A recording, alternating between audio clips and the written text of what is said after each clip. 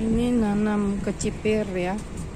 Kecipirnya menjalar ke mana-mana ya. Daunnya seperti daun kacang panjang. Baru pertama kali. Ini dia numpang di potnya jambu. Jadi melilit-lilit tuh ke pohon jambu. Dan belum kelihatan ada bunganya. Nggak tahu ini bunga atau calon daun lagi nih. Oh ya. Kita tunggu aja nah ini jambu kristal kita juga ada berbuah.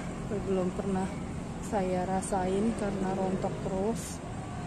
Nah, kalau yang ini uh, black sapote. Saya bibit beli dari kecil ya. Tuh black sapote. Sekarang udah lumayan tinggi udah satu meteran. Kalau yang itu bahwa